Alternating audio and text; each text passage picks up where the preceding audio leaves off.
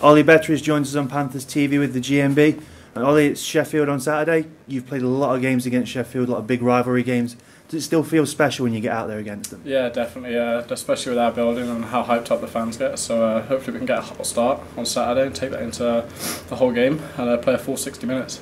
I say, speaking of the fans, the the rink's completely sold out on Saturday. It's going to be loud from both sets.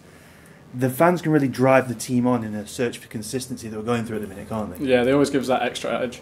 It's always like having the uh, six guys on the ice at all times. So uh, hopefully they're bumping on Saturday to give us that extra edge going into the whole game. And then after Sheffield, it's another tough road game going straight to Belfast. It, it, it was a 6 3 win over there last time. Is it more of the same when you get back over there? Yeah, definitely. Uh, very good team, two very good teams this weekend, so we need to be at the best of our abilities. So uh, we've got a game plan, hopefully we stick to it on Saturday, and then we uh, get the flight over to Belfast on Sunday, and uh, hopefully we get a hot start and uh, play the game where we want, no want to.